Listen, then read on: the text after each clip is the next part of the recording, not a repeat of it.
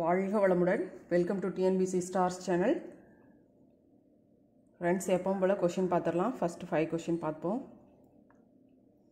உலக மொழிகளுக்கெல்லாம் தாய்மொழி தமிழாகத்தான் இருக்க வேண்டும் என்ற மொழியியல் அறிஞர் நோம்சாம் சுகி. உலகின் இரு முறைமைகளை பற்றிய உரையாடல் என்னும் நூல் வெளிவந்த ஆண்டு ஆயிரத்தி அறுநூற்றி முப்பத்தி இரண்டு. ஐவர் கடமை உணர்த்தும் நூல் புறநானூறு. திருவாசகத்தில் உள்ள பாடல்களின் எண்ணிக்கை திருவாசகத்தின் பாடல்களின் எண்ணிக்கை ஆறுநூற்று ஐம்பத்தி எட்டு சிக்ஸ் ஃபைவ் எயிட் மணிமேகலையில் குறிப்பிடப்படும் குற்றங்கள் பத்து. கோட்டோவியங்கள் என்று அழைக்கப்படுவது மூன்று கோடுகள் வரைவது அந்த கோட்டோவியம் அப்படின்னு அழைக்கப்படுகிறது. குறுந்தொகையில் பாடல்கள் நானூற்றி ஒன்று. ஓகேங்களா? நண்டும் தும்பியும் நான்கறிவனவே. சொன்னது தொல்காப்பியம். ஏற்கனவே உங்களுக்கு சொல்லியிருப்பேன் லெசனில் வரும்போதே. நண்டும் தும்பியும் நான்கறிவனவே. இது இம்பார்ட்டன்ட் கொஷின் இது வருவது தொல்காப்பியம் அப்படிங்கிற நூலில் தான் வருது. ஓகே ஃப்ரெண்ட்ஸ் இன்றைக்கி நம்ம பார்க்குறது இதே தான் இந்த டாபிக் அதாவது பலதரப்பட்ட அரசியல் கட்சிகளும் நலத்திட்டங்களும் அவர்களுடைய நலத்திட்டங்களும் பார்க்குறோம். பெரியாருடைய இதை பார்த்துட்டு வந்துட்டுருக்குறோம். இடையில வந்து காங்கிரஸோடது இந்திய எதிர்ப்பு போட்டா போராட்டம். அதில் வந்து காங்கிரஸோட கட்சி ஆயிரத்தி தொள்ளாயிரத்தி முப்பத்தி ஏழில் வந்துச்சு. அப்போ காங்கிரஸ் என்னென்ன நலத்திட்டங்களை கொண்டு வந்துச்சு அப்படின்னு பாருங்கள் இதில் வந்து நம்ம இந்த டாபிக் நம்ம பார்க்கும்போது இந்த டாப்பிக்கும் இன்க்ளூடு தான் ஆகும். சுயமரியாதை இயக்கம் திராவிட இயக்கம் மற்றும் இவ இயக்கங்களுக்கான அடிப்படை கொள்கைகள் என்ன? கொள்கைகளும் சேர்ந்து இதனோட வருது. நம்ம க- இந்த இது பார்க்கும்போதே அரசியல் கட்சிகளும் பலதரப்பட்ட மக்களுக்கான நலத்திட்டங்களும் இது பார்க்கும்போதே நம்மளுக்கு அதனுடைய கொள்கைகளும் நம்மளே பார்த்துருப்போம். நீதி கட்சியினுடைய கொள்கைகள் பெரியார் சுயமரியாதை இயக்கத்தின் கொள்கைகள் இதெல்லாமே பார்த்துருப்போம். ஸோ இதுவும் இதில் பார்த்துருப்போம் அண்ணாவின் பங்களிப்புகள் இதுவும் இதுலேயே இன்க்ளூட் ஆயிரும். ஸோ ஒன்றுக்கு ஒன்று ரிலேட்டடாக தான் இந்த எட் எட்டு ஒன்பது இந்த ரெண்டு யூனிட்டுமே இருக்குது ஓகே ஃப்ரெண்ட்ஸ் புரிதல்கள் தான் ரொம்ப அவசியம் முக்கியமாக நம்ம படிக்கிறதுக்கு. நீதி கட்சியின் வீழ்ச்சியும் தேர்தல் அரசியலில் நுழைய பெரியார் மறுத்ததும் வளர்ந்து வந்த மகாத்மா காந்தியின் புகழும் தான் இந்திய தேசிய காங்கிரஸை ஆயிரத்தி தொள்ளாயிரத்தி முப்பத்தி ஏழாம் ஆண்டு சென்னை மாகாண தேர்தலில் வெற்றி பெற செய்தது. ஸோ நீதி கட்சி வந்து இருபத்தி ஒன்றுலேருந்து முப்பத்தி ஏழு வரைக்கும் இருந்துச்சு. பெரியார் வந்து அரசியலில் வரமாட்டேன் அப்படின்னு சொல்லிட்டாரு. அந்த சமயத்தில் மகாத்மா காந்தியும் அவருடைய புகழும் இந்த பக்கம் வந்ததுனால ஏன்னாச்சு காங்கிரஸில் அவர் இருந்தார். அதனால் வந்து இப்போ காங்கிரஸ் ஈஸியாக வெற்றி பெற்றுச்சு அப்போ ராஜாஜி ஃபஸ்ட்டு முதலமைச்சர் ஆகிட்டார் காங்கிரஸோட முதலமைச்சர்.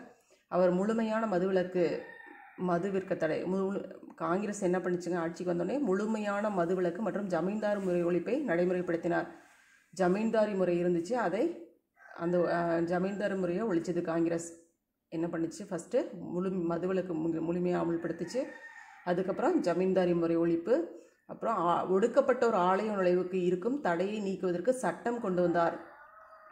ஆலய நுழைவு போராட்டம் பெரியார் இவங்கெல்லாம் நீதி கட்சியெலாம் முன்னெடுத்துச்சு. ஸோ அதை காங்கிரஸ் அந்த ஆலய நுழைவு தடையை நீக்குவதற்கு சட்டம் கொண்டு வந்தார். இருந்தபோதிலும் இந்தி மொழியை கட்டாயமாக பள்ளியில் அறிமுகப்படுத்திய நடவடிக்கையானது பல பள்ளிக்கூடங்களை மூடுவதற்கு காரணமானது. இருந்தாலும் ராஜாஜி வந்து இந்தி மொழியை வந்து திணிக்கிறதுல முக்கிய ப இதாக இருந்த இருந்த மு- முனைப்பாகவே இருந்தார். ஸோ அதை வந்து இந்தி மொழியை திணிச்சாங்க காங்கிரஸ் ஆட்சி காலத்தில் இவங்களுடைய ஆட்சியில். அதனால என்ன பண்ணாங்க? பல பள்ளிக்கூடங்களை மூடுவதற்கு இது இது இவங்களுடைய முக்கியமாக இது செஞ்சது இந்த மூணு விஷயங்கள் செஞ்சாங்க. அது இது சுயமரியாதைக்காரர்கள் மற்றும் தேசியவாதிகளான மறைமலை அடிகள் போன்றோரை ஆத்திரமடை செய்தது. இதனால் ஆயிரத்தி தொள்ளாயிரத்தி முப்பத்தி ஏழாம் ஆண்டு இந்திய எதிர்ப்பு போராட்டத்திற்கு அனைவரும் ஒன்று சேர்ந்தனர். பெரியார் உள்ளிட்ட ஆயிரக்கணக்கான போராட்டக்காரர்கள் கைதானார்கள் மேலும் பல பல பேர் சிறையில் இறந்தனர் இறந்தும் போயிட்டாங்க. ஸோ நம்மளோட பாயிண்ட் ஆஃப் வியூவில் இந்த டாப்பிக்கும் சம்மந்தமாக பார்க்கும்போது இவங்க வந்து மூணு நலத்திட்ட இவங்க மூணு நலத்திட்டங்களை கொண்டு வந்ததாக வச்சுக்கலாம் ஓகேங்களா? ஸோ ஆலை நுழைவு போராட்டம் ஜமீன்தாரி முறை ஒழிப்பு மதுவிலக்கு அரு- அமுல்படுத்தினாங்க. இது மூணு தான் இவங்களுடைய நடவடிக்கைகளாக இருந்துச்சு. இது நான் உங்களுக்கு ஏற்கனவே நம்ம அந்த வீடியோவில் நான் உங்களுக்கு காட்டியிருப்பேன். யார் யார் எந்த ஆட்சி காலம் வந்தாங்க அப்படின்னு சென்னை மாகாண முதலமைச்சர்கள் ஃபஸ்ட்டு சென்னை மாகாணத்தில் ஃபஸ்ட்டு முதலமைச்சர் ஆனவர் சுப்ராயலு தான். ஆனால் அவர் இறந்த உடனே அடுத்தது பனகல் ராஜா வந்தார். அதுக்கப்புறம் நீதி கட்சியோட ஆட்சி தான். இது வரைக்குமே ரெட்டி வரைக்குமே இருந்துச்சு. அதுக்கப்புறம் ராஜாஜி காங்கிரஸ் ஆட்சி காலத்தில் வந்தார். இதுவும் காங்கிரஸ் காமராஜர் ஆட்சி காலத்தில் பிரகாசம் ராமசாமி இவங்க ரெண்டு பேரும் வந்தாங்க. இது காமராஜர் ஆட்சி காலம். முதலமைச்சர்கள் தேர்தல் நடைமுறைக்கு பிறகு அதாவது ஆஃப்டர் இண்டிபெண்டன்ஸ் அதுக்கப்புறம் என்ன வந்துச்சு? இவங்கள்லாம் இவங்கெல்லாம் இருந்தாங்க பாருங்கள் குமாரசாமி ராஜா ராஜாஜி காமராஜர் இவங்கெல்லாம் வந்தது. ஓகேங்களா? பார்த்துக்கோங்க. இதில் நடுவில் ஏதாவது கேட்க போகிறாங்க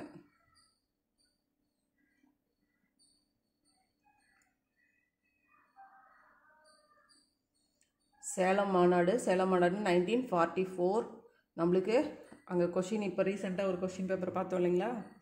அதில் பார்த்தீங்கன்னா நைன்டீன் ஃபார்ட்டி த்ரீ கொடுத்துருப்பாங்க. நைன்டீன் ஃபார்ட்டி த்ரீங்கும் போது நம்மளுக்கு ஆப்ஷன்லேயே அவங்களே நைன்டீன் ஃபார்ட்டி த்ரீ சே மாநாடு அப்படிங்கும்போது நம்மளுக்கு ஆன்சர் சேலம் மாநாடுன்னு சொல்லி கொடுத்துருக்குறாங்க. ஸோ அதுதான். எல்லாமே எப்படி வேரிய வேரியேஷனாக இருக்குது பாருங்கள் பார்த்துக்கோங்க. நைன்டீன் ஃபார்ட்டி ஃபோர் தான் சேலம் மாநாடு. பெரியார் தலைமையில் நடைபெற்ற சேலம் மாநாட்டில் ஏற்கனவே பெரியாரின் தளபதியாகிவிட்ட திறமையான சொற்பொழிவராளான சிஎன் அண்ணாதுரை. இங்கே பெரியாரின் தளபதி அப்படின்னு சொல்கிறது யாருங்க? அண்ணாதுரை. ஸோ கொஷின் கூட வைக்கலாம். பெரியாரின் தளபதி அண்ணாதுரை. நீதி கட்சியின் பெயரை திராவிட கழகம் என்று வரலாற்று சிறப்புமிக்க தீர்மானத்தை கொண்டு வந்தார். அண்ணாதுரை தான் இந்த திராவிட நீதி கட்சியோட பெயரை திராவிட நாடு அதாவது திராவிட கழகம் அப்படின்னு கொண்டு வந்தாங்க. பெரியார் வந்து திராவிட நாடு மாநாட்டை கூட்டி திராவிடர்களுக்கு தனி திராவிட நாடு கோரினார்.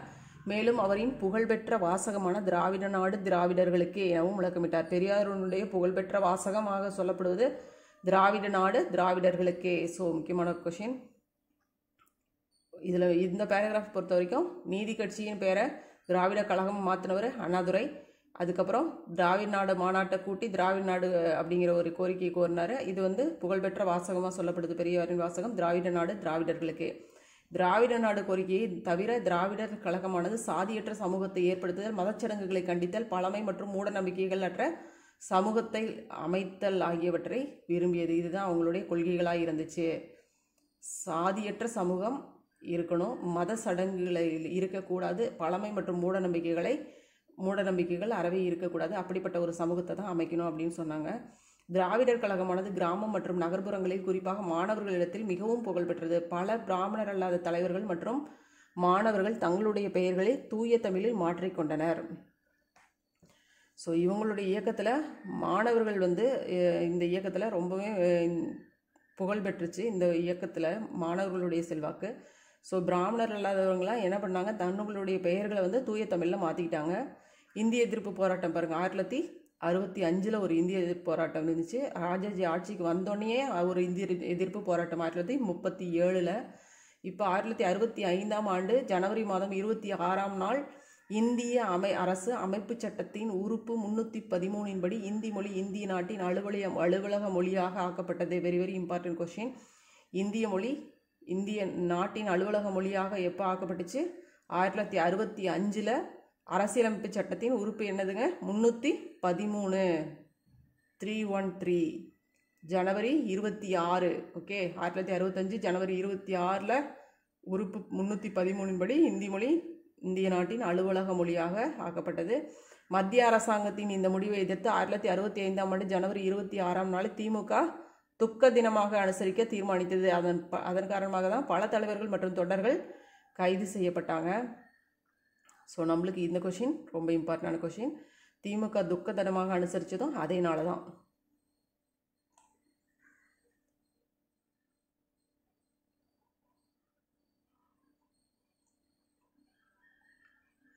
தமிழ்நாடு பெருமளவிலான இந்திய எதிர்ப்பு போராட்டங்களை சந்தித்தது இந்த கிளர்ச்சியால் திமுக மாணவர் சமூகத்திடம் அதிலிருந்து பெருமளவு ஆதரவை பெற்றது. இதன் மற்றொரு பக்கம் காங்கிரஸ் கட்சி தமிழ்நாட்டில் தனது ஆதரவையும் தளத்தையும் இழந்தது. இதற்கிடையில் திமுக திராவிட நாடு கோரிக்கையை திரும்ப பெற்றுக்கொண்டு தமிழ்நாட்டின் அரசியல் அதிகாரத்தை கைப்பற்ற தேர்தல் அரசியலில் ஊக்கத்துடன் பங்கெடுத்தது.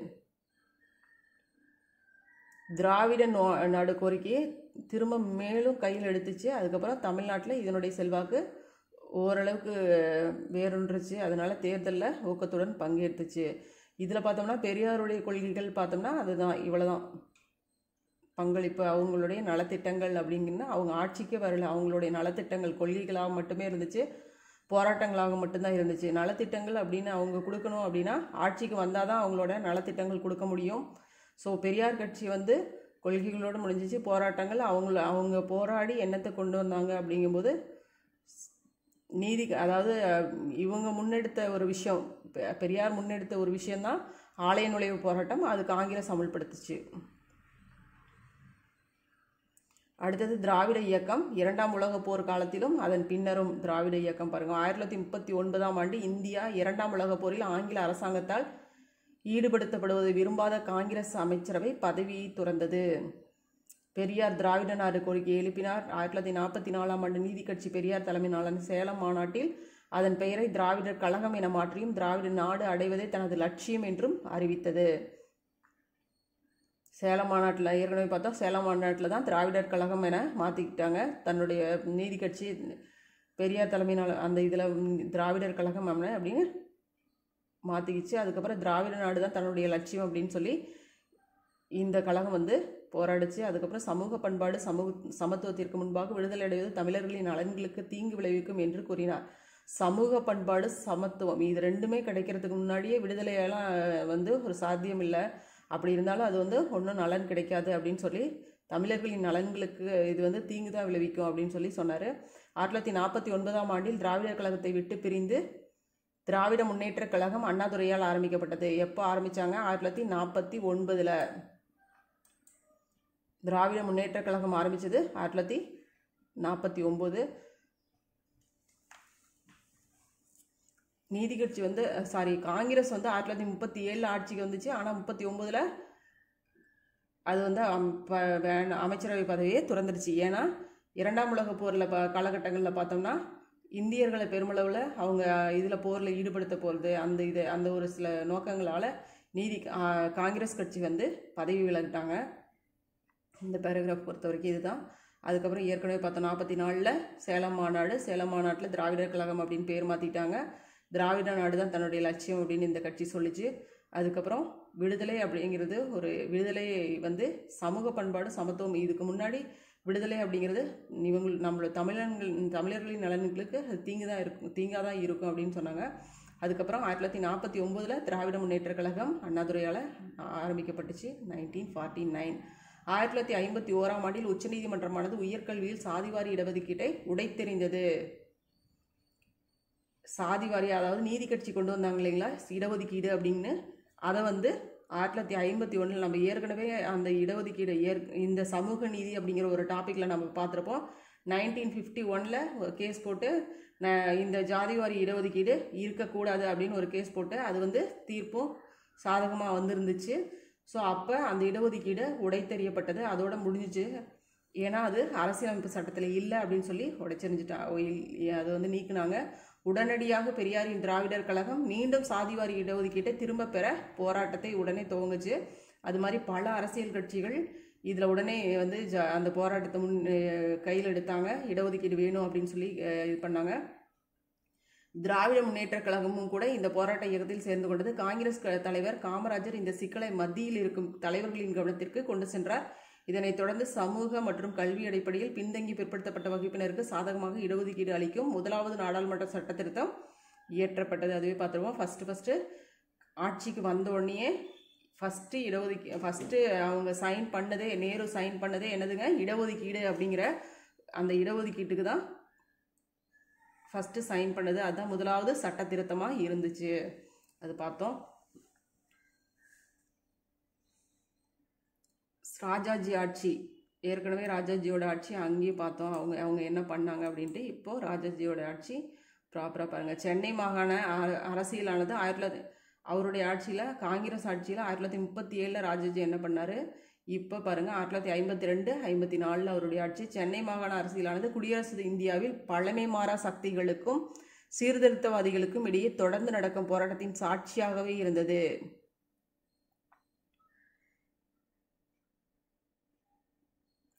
என்ன இதுங்க? இந்தியாவின் பழமை மாறா சக்திகளுக்கும் பழமை மாறா சக்திகள்லாம் என்னதுங்க?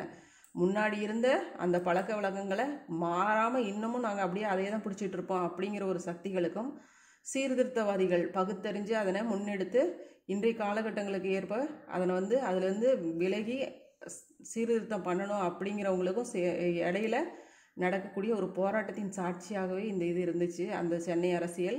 சென்னை மாகாணத்தின் முதல் தேர்ந்தெடுக்கப்பட்ட அமைச்சரவை வழிநடத்திய திரு ராஜகோபாலாச்சாரி மீண்டும் குடியரசினுடைய அமைச்சரவையின் கீழ் அரசமைப்பின் கீழ் பள்ளிக்கூடங்களின் எண்ணிக்கையை குறைத்தார். மறுபடியும் ஆட்சிக்கு வந்தார். மறுபடியும் என்ன பண்ணாருங்க? பள்ளிக்கூடங்களின் எண்ணிக்கை குறைச்சிட்டாரு. இந்த முன்னாடியே வந்து இந்திய எதிர்ப்பு இந்திய திணிப்புனால பள்ளிக்கூடங்கள் குறைக்கப்பட்டது. மறுபடியும் வந்தார். பள்ளிக்கூடங்களை குறைச்சாரு. பள்ளிகளின் பள்ளிகளில் வந்து இந்தி மொழியை திணித்தார். புதிய பள்ளிக்கூடங்களின் பகுதி நேரமாக கற்பதற்கு பரம்பரை தொழில் எனப்படும் புதிய தொ- தொடக்க கல்வி திட்டத்தை அறிமுகப்படுத்தினார். அதாவது குலக்கல்வி திட்டத்தை மீண்டும் அறிமுகப்படுத்தியிருக்கிறாரு. ராஜாஜியின் இந்த நடவடிக்கைகளை எதிர்த்து திராவிட தலைவர்கள் மாநிலம் முழுவதும் போராடத் தொடங்கினர். காங்கிரஸ் தலைவர்களின் ஒரு பகுதியானரும் ராஜாஜியின் திட்டத்தால் கோபமடைந்தனர். இதுவே ராஜாஜி பல பதவி விலகுவதற்கு காரணமாக வந்தது அவரை தொடர்ந்து காமராஜர் முதலமைச்சர் ஆனார் காங்கிரஸில் காமராஜர் தான் நெக்ஸ்ட் முதலமைச்சர் ஆனார் என்னாச்சு? இவருடைய திட்டங்கள் ரெண்டு வருஷம் தான் இவர் ஆட்சியில் இருந்தார். ஐம்பத்தி ரெண்டுலேருந்து ஐம்பத்தி நாலு வரைக்கும் இவர் ஆட்சியில் இருந்தது. இவருடைய ஹிந்தி திணிப்பு குலக்கல்வி இதுதான் இவருடைய பதவி விலகுவதற்கு மிக முக்கிய காரணமாக அமைஞ்சிச்சு. தண்டி யாத்திரை பற்றி அருந்ததி ராயின் கருத்து. இது ஏற்கனவே நான் உங்களுக்கு சொல்லியிருக்கிறேன். இந்த லெசன் வரும்போது அரசியல் களத்தின் வழியே எ- அவங்களுடைய கருத்து தான் இது. ஓகேங்களா த அருந்ததி ராயின் கருத்து தான் இது. அரசியல் களத்தின் வழியே எதிர்ப்புகள் பிரதிபலிக்கப்படுவதற்கு ஒரு வரலாறு இருக்கிறது. ஆயிரத்தி தொள்ளாயிரத்தி முப்பதில் தண்டிய தண்டிக்கு காந்தி மேற்கொண்ட உப்பு யாத்திரை மிகவும் சிறப்பான உதாரணம். அரசியலில் வந்து எதிர்ப்புகள் இருக்கும் போராட்டங்கள் இருக்கும். அப்பப்போ அப்போ அதுக்கு ஒரு மிக முக்கிய உதாரணமாக நம்ம என்ன சொல்லலாம் அப்படின்னா தண்டி யாத்திரையை சொல்லலாம் அப்படின்னு அவங்க சொல்கிறாங்க உப்பு யாத்திரை என்பது ஒரு க ஒரு களம் மட்டுமல்ல அது உண்மையில் சட்டமறுப்பு செயல்பாட்டினை பெருமளவில் உணர்த்துவதாகும் காந்தியின் தலைமையில் பலத பல சுதந்திர போராட்ட வீரர்கள் குஜராத் கடற்கரைக்கு நடந்து சென்று கடலிலிருந்து உப்பெடுக்க முனையும் போது ஆயிரக்கணக்கான இந்தியர்கள் நாடு முழுவதும் ஆங்கிலேயரின் உப்பு வரி சட்டங்களுக்கு எதிராக தாங்களே சட்டத்தினை மீறி உப்பெடுக்கும் செயலை மேற்கொண்டனர். காந்தி ஒரு இடத்துல தான் தன்னுடைய போராட்டத்தை துவங்கினார். ஆனால் இந்தியா முழுவதும் நிறைய இடங்களில் தா தாங்களே வந்து முன்னாடி நின்று சட் அந்த சட்டத்தினை மீறி உப்பெடுக்கும் செயலை பல இடங்கள்லையும் மேற்கொண்டாங்க.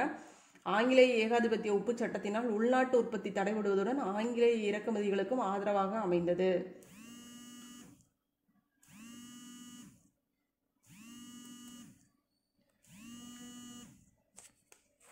ஹலோ?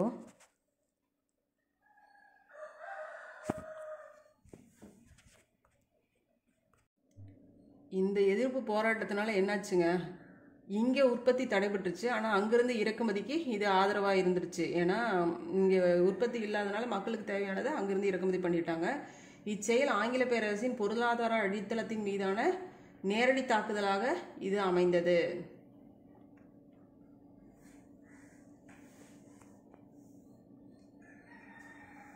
ஓகே இது அருந்ததிராயின் கருத்து.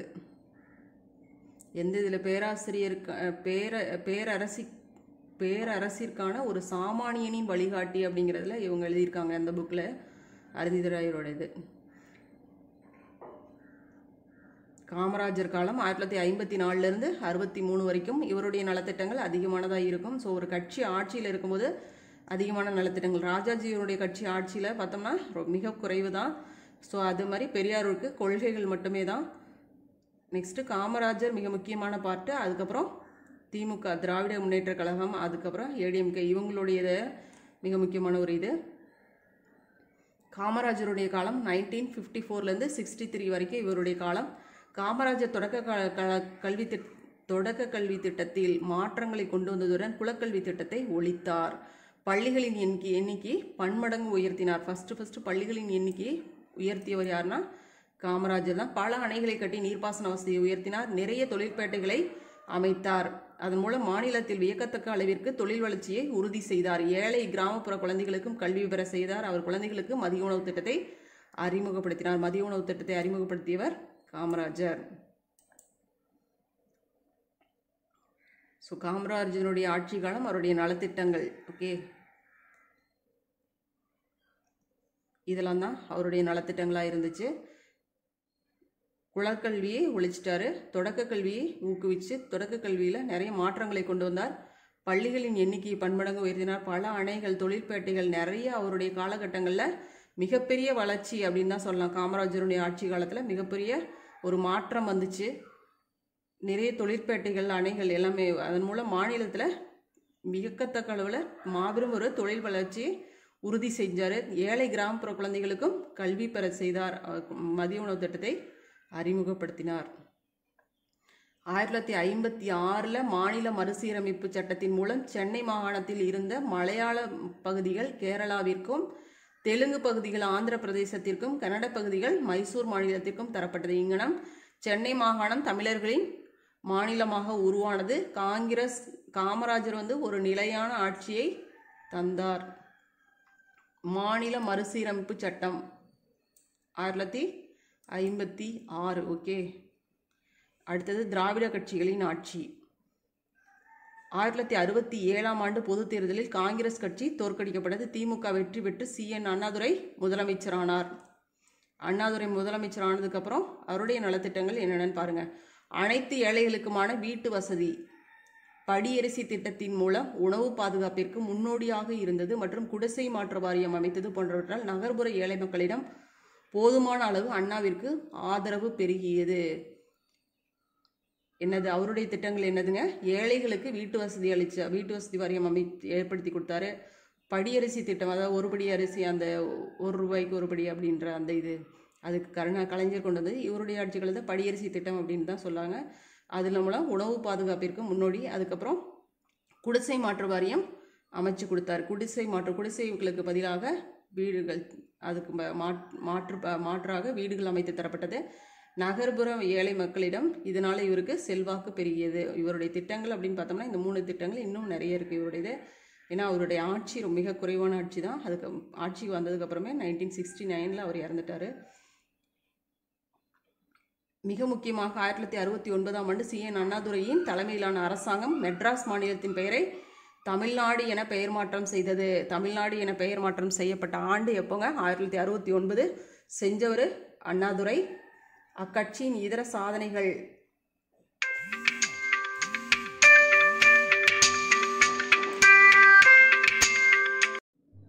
மேலும் அண்ணாதுரையினுடைய சாதனைகள் அவங்களுடைய அந்த கட்சியின் சாதனைகள் என்னன்னு பாருங்க. எழுபத்தி ஐந்து மைல் தொலைவிற்கு மேல் உள்ள பேருந்து தடங்களை தேசியமயமாக்கியது. அனைத்து சாதி ஏழை மக்கள் மாணவர்களுக்கும் பல்கலைக்கழகத்திற்கு முந்தைய கல்வி மற்றும் தொழிற்கல்விக்கு முந்தைய படிப்புகளுக்கு கல்வி கட்டண விலக்கு அளிக்கப்பட்டது. பல்கலைக்கழகத்திற்கு முந்தைய கல்வி தொழிற்கல்விக்கு முந்தைய படிப்புகளுக்கு அப்படின்னா எனதுங்க ஸ்கூல் லெவலில் படிக்கும்போது அந்த கல்வி கட்டத்திலிருந்து விதிவிலக்கு அளிக்கப்பட்டுச்சு. இரண்டாம் உலக தமிழ் மாநாடு நடத்தப்பட்டது. தமிழக ஏழை மக்களுக்கு மானிய விலையில் அரிசி வழங்கப்பட்டது. ஸோ இதெல்லாம் இவங்களுடைய நலத்திட்டங்கள். திராவிட கட்சிகளின் நலத்திட்டங்கள் இதெல்லாம். நம்மளுக்கு இந்த டாப்பிக்கில் இது முக்கியமான பாயிண்ட் இது எல்லாமே.